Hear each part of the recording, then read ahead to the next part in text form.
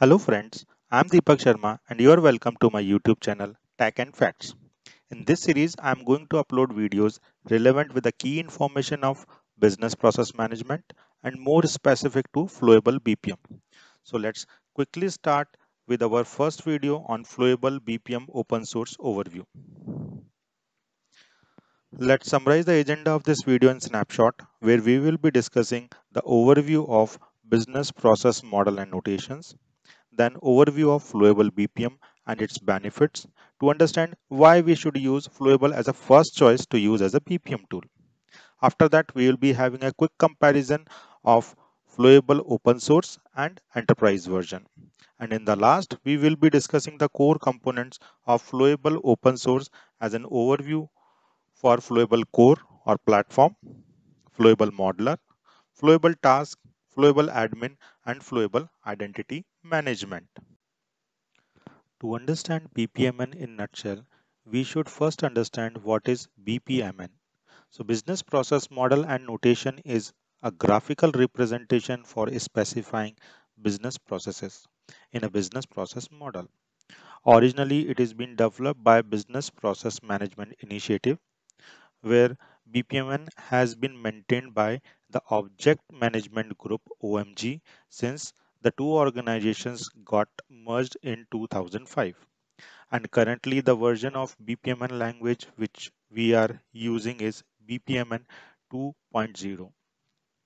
Now, each BPMN process has a sequence of flow objects connected with a series of activities and have at least one start and end event to produce a specific outcome.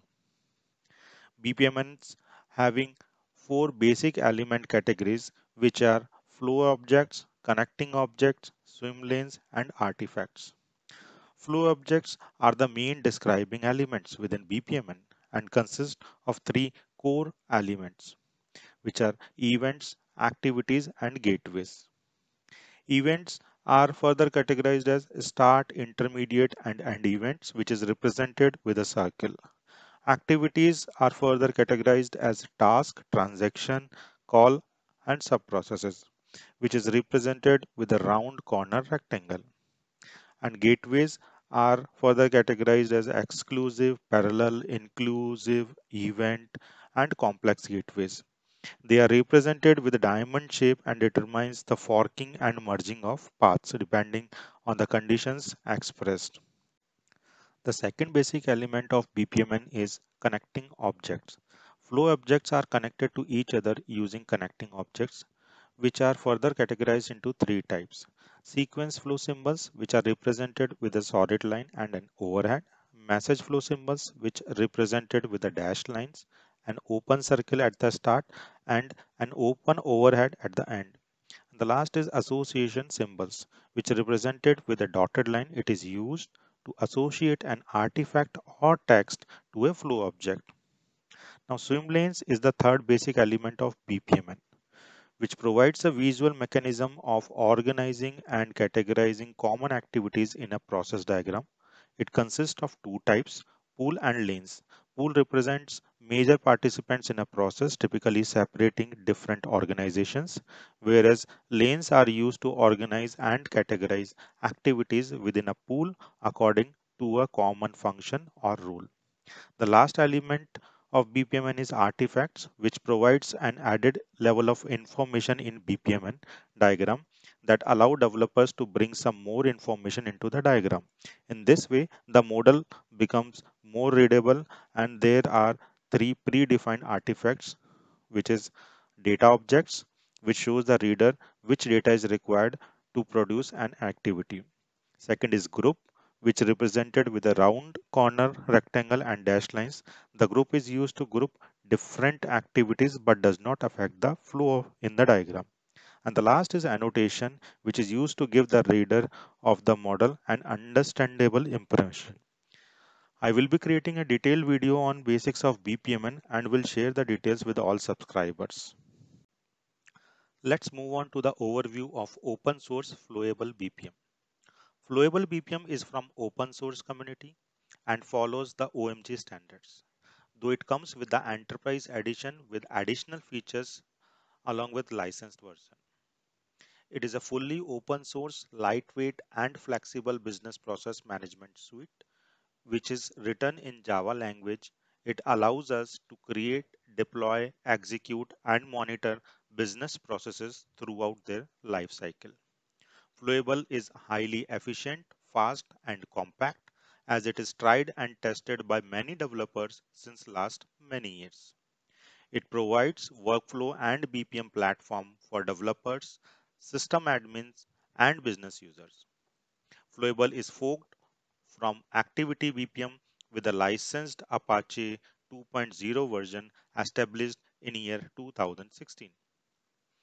It follows the standards of BPMN 2.0, DMN 1.2 and CMMN 1.1 for case management. The current and latest version of open source Flowable is 6.6.0 which is released on 13th of October 2020. Details you can check with the below link which I have provided in the description of this video as well. All core component engines can be run as an embedded Java application or as a microservice using Spring Boot application. The applications can be deployed and run on a standalone cluster or cloud setup. Flowable provides a very rich Java and REST API to integrate workflow with Java applications. As we already discussed that Flowable is forked from Activiti BPM, but it is good to discuss the entire JBPM family products and their journey. JBPM, which is a Java business process model, is an open source workflow engine written in Java that can execute business process described in BPMN 2.0. It is got sponsored by Red Hat, part of the JBoss community and closely related to the Drools and OptaPlanner projects in the KIE group. It is released under the ASL by the JBoss company in year 2006. After that, in year 2010, Activiti is been launched, which it has a base team consisting of the employees of Alfresco company. In March year 2010, Tom Baeyens and Joram Barrez, the two key developers of JBPM left Red Hat and started Activiti as an employee of Alfresco. Activiti is based on their workflow experience with the JBPM, but it is a new code base not based on any previous JBPM code. After that, Camunda was founded by Jakob Freund and Bernd Rucker in year 2008 as a business process management consulting company. Over the next four years, Camunda built a consulting customer base of more than 250. So on March 2013, Camunda forked the Activiti project to launch Camunda BPM as an open source project. After that, in year 2016, Barry Rademakers the author of Activiti and other contributors left Alfresco. The departing developers forked the Activiti code to start a new project called Flowable BPM in October 2016. Let's move on to the quick comparison of Flowable op open source with the enterprise version. The enterprise work and engage are built on top of flowable open source engines with a lot of additional functionality which includes the action definitions, data analytics, security features, user definitions and integrated web chats. Open source details you can find on flowable.org whereas enterprise related details you can find on flowable.com. Flowable work and engage use the same BPMN, CMN, DMN features.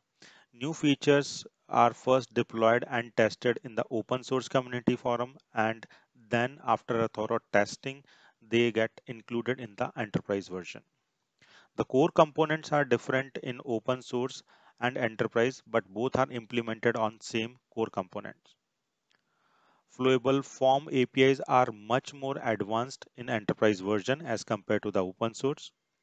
The flowable control which comes in the enterprise version is a combination of uh, flowable identity management and flowable admin which comes as a separate and individual components in open source web chat features and integration with the whatsapp are available in enterprise version advanced features in the design are included on top of the basic components which is provided in the open source Let's move on to discuss Flowable product features and their comparison. Flowable has four products, which is open source, which we have already discussed so far, Enterprise Pack, which is forked from the open source, Flowable Work, and Flowable Engage.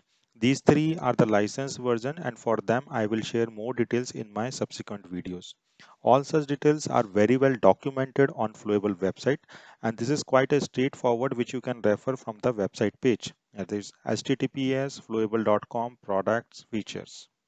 The link of the page I have provided in the description of this video so you can refer it later.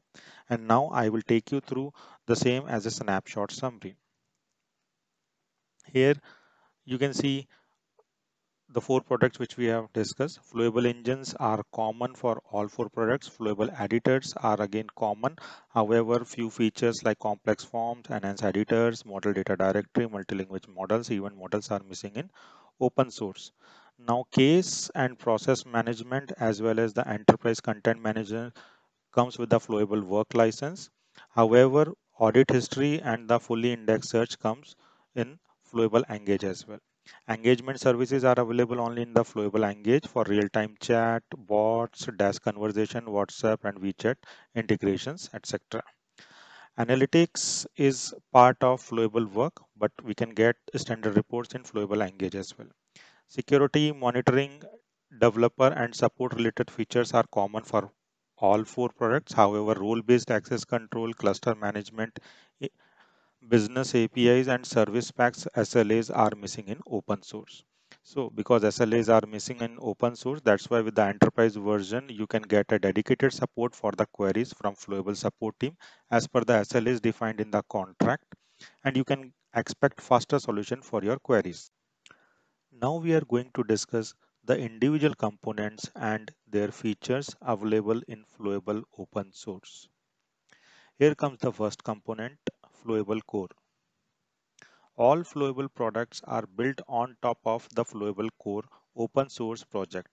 Swagger documentation is available on their website and the link I will be sharing in the description of my video. This is the heart of workflow and BPM platform for Flowable. The Flowable process engines has many years of real world use to ensure the fast, efficient and reliable process execution.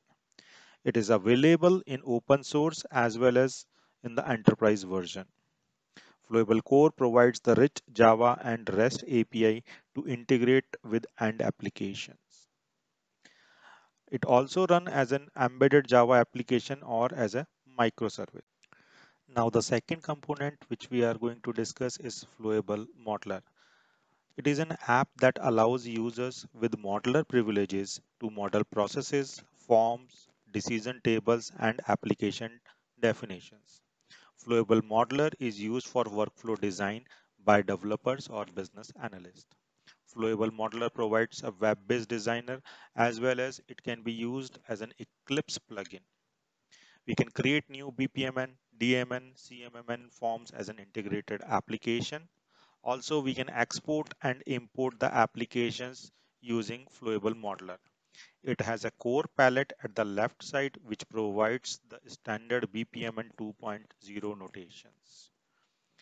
Also, the open source model look and feel is a bit different if you compare it with the enterprise version of Modeler which is known as a flowable design.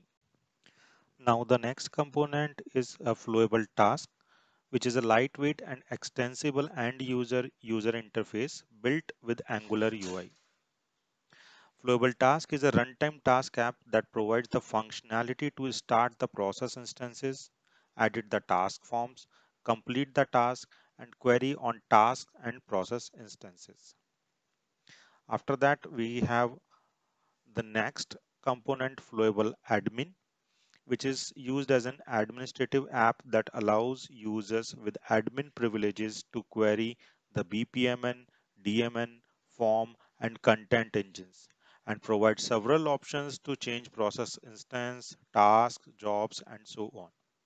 The admin app connects to the engines through the REST API that is deployed together with the Flowable UI application and the Flowable REST application. We can do several administrative operations using this component to claim, unclaim, migrate, suspend, resume the task or a process instance. The last component of Flowable open source which we are going to discuss in this video is Flowable IDM which is Flowable Identity Management. Using this portal we have a single sign-on authentication functionality for all the Flowable UI applications and for users with the IDM administrative privilege. It also provides the functionality to manage the users, groups, and privileges. So with that, we can create, modify, and delete the users, groups, and privileges. Now with this, I will conclude today's video about open source flowable overview. If you have any doubt, questions, queries, you can reach out to me with your comments and I will try to answer your queries. Thank you very much for your valuable time. And if you like this video, then please like and share this video. Also subscribe to my channel for such informative videos on BPM and especially on Flowable BPM. That's all in today's episode. Stay healthy and stay safe.